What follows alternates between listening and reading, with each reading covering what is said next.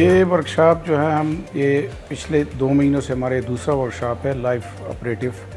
اس میں ہم کڈنیز کی پرابلمز جو ہیں، اس میں ابسٹرکشن ہوتی ہے کڈنی میں، ایک پائلوپلاسٹی کرتے ہیں۔ اور ایک کڈنی میں اگر نان فنکشن ہو تو اس میں اس کڈنی کو ہٹاتے ہیں۔ یہ ورکشاپ پیڈریاٹک یورالوجی کی لیپروسکوپی ورکشاپ ہے۔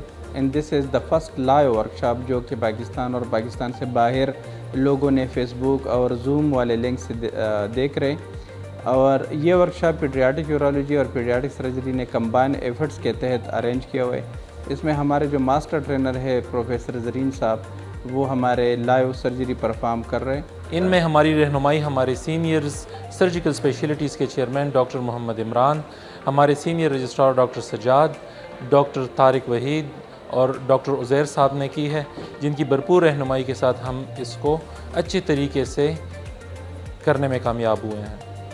اس پروگرام کو آرگنائز کرنے میں تقریباً ہمارے دو ویک لگے ہیں کیونکہ تقریباً دو ہفتے سے ہم اس پہ کام کر رہے تھے اور اس میں جتنے بھی ہمارے ساتھ ہمارے جو ہمارے اپنے وارڈ کے ڈاکٹرز ہیں انہوں نے بہت بڑا کوپریشن کیا اس کے ساتھ ہماری جتنے بھی ہاسپٹل کی مینجمنٹ ہے انہوں نے ہمارے ساتھ بہت بڑا کوپریشن کیا Regarding today's event, uh, I would like to extend my thanks to Professor Dr.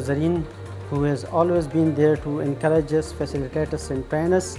I'm really thankful to all of the, my organizing committee, which comprises of Dr. Abba Farooq, Dr. Faisal Barakzai, and Dr. Seema particularly, who helped me a lot in arranging this event.